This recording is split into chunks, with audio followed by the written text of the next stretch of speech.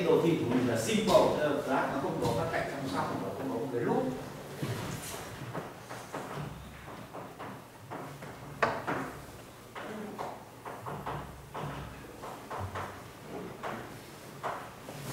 nếu mà nó không simple thì là hiểu biết là cái quá trình của nó thì có một cái định lý nói rằng nếu mà cái đồ thị mà ta nhận được sau cái quá trình này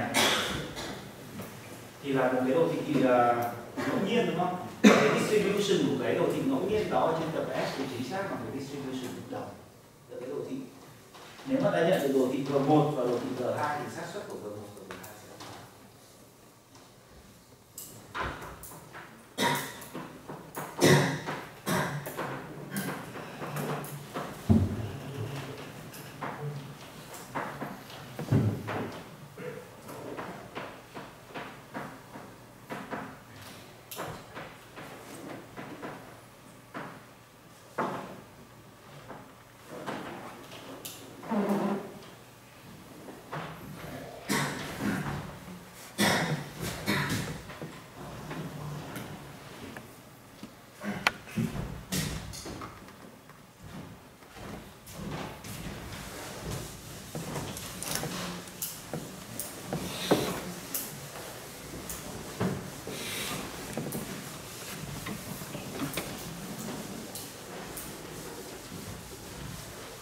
thì Feynman dùng cái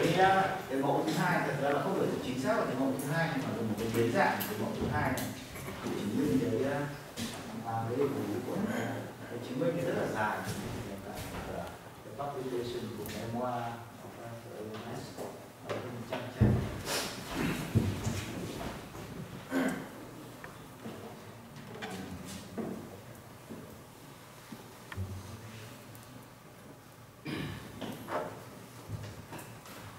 thế thì có một cái hướng tiếp tục mà người ta muốn làm là chẳng hạn như là nếu mà đây là một mô hình của cái đồ thị ngẫu nhiên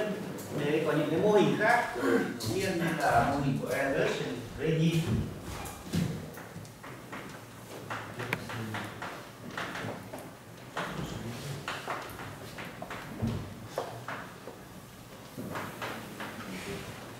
À, tôi xin nhắc lại là cái cái này cũng chưa hoàn toàn giải quyết được cái bài toán à, uh, trên graph bởi vì là có cái minus epsilon đây thay bằng plus. Tức là bài toán này vẫn open thì là plus đi sâu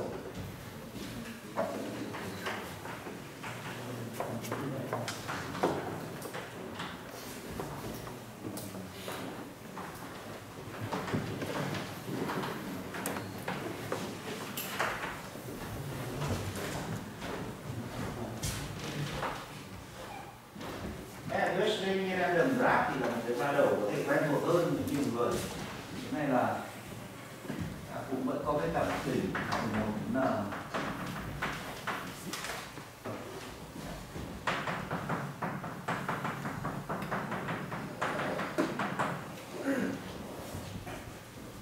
và cái hai đỉnh mà ảnh J thì đã nối lại với một xác suất là đây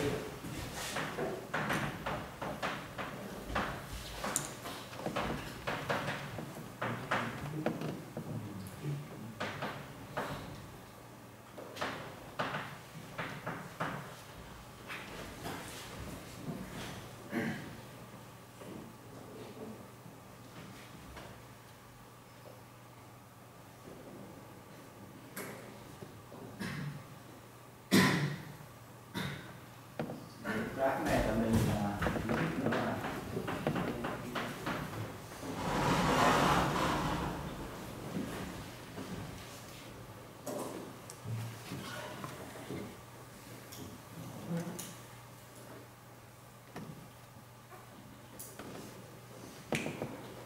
thì à, cái định lý ở trên cái hình dung là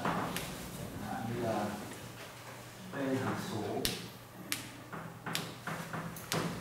là đến vô cùng cái ghép này à thứ nhất thế à, cái cái cái định là cái cái đồ thị này không hoàn toàn là đồ đồ thị uh,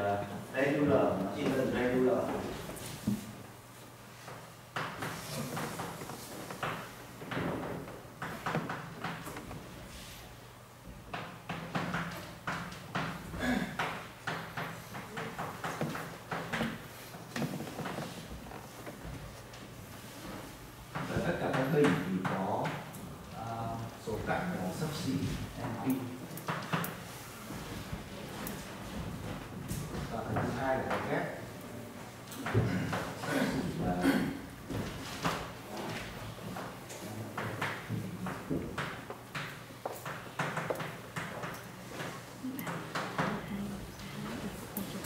vâng, cũng gần giống như cái Rama Chan rồi tất nhiên là đây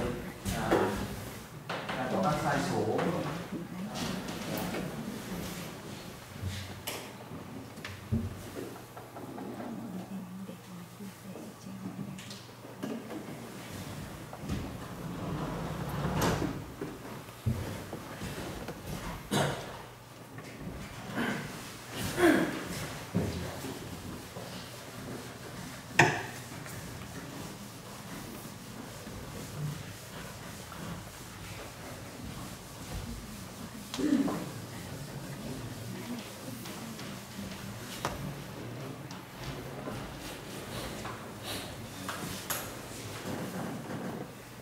Cái ờ,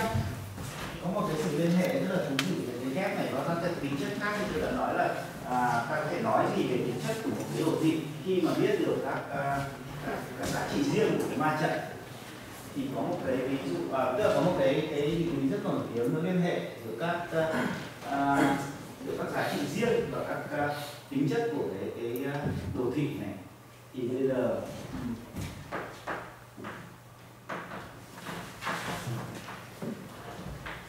tôi muốn nói một số tính chất mà nó ta có thể tính qua giá trị riêng. Chẳng hạn như là à, trong một đồ thị ta muốn tính là có bao nhiêu tam giác.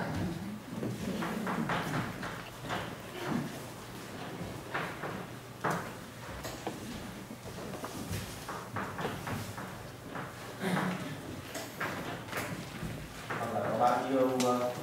à, cái uh, cái sơ cầu lạnh for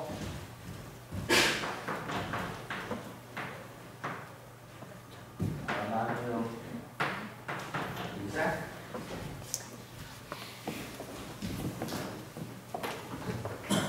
nếu mà đồ thị của mình là một cái đồ thị ngẫu nhiên. Thì số này tương đối dễ tính chẳng hạn. Như nhất là chẳng hạn nghĩa nhất là cái kỳ vọng ta có thể tính xem là số kỳ vọng của tam giác là bao nhiêu.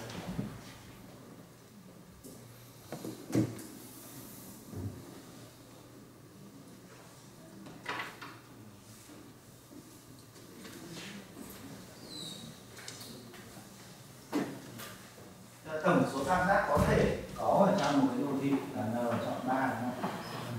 Vì vì mà, mỗi cái tam giác này thì thể hiện về xác suất là tên mũ ba cái này sẽ là gì?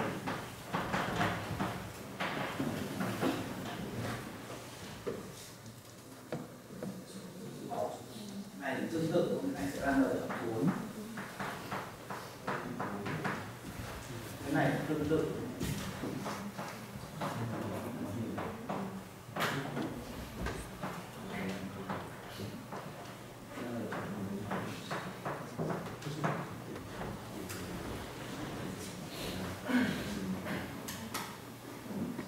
mà trong đồ thị hữu hạn thì ờ, có thể chứng minh rất dễ là những cái giá trị kỳ vọng nó sẽ gần với giá trị thực. Ta có thể chứng minh một cái sự như sau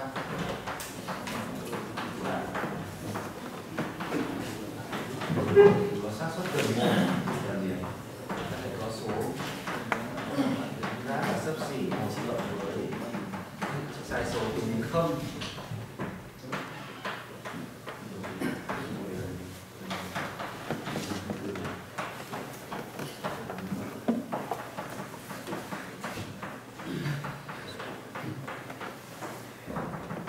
vâng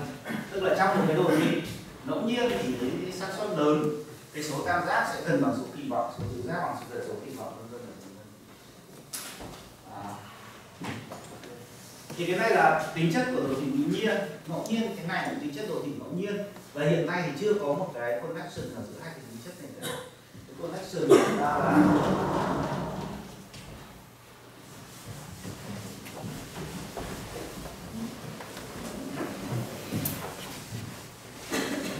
nó tức là tương đối là đáng ngạc nhiên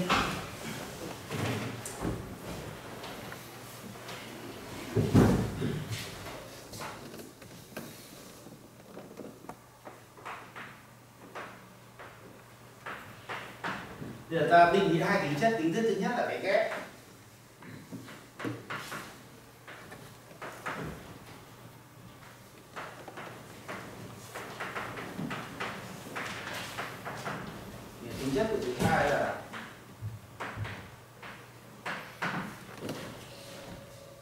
cái số tứ giác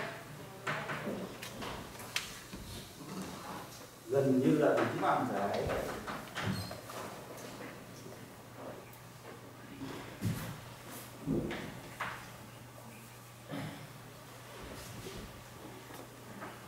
thì vậy. Thứ ba là, cái thứ ba là cái gọn của fix graph h thì cái số graph h ở trong đó sẽ cũng gần bằng số kỳ vọng Tức là cái này sẽ là n chọn cái số bình của h và nhân với t cái số này ở đây ta có giả sử là cái graph này là như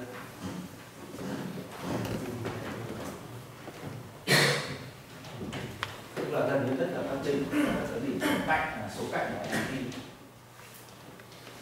thì ít nhất là ta có thể thấy là cái tính chất thứ ba thì là mạnh hơn tính chất thứ hai.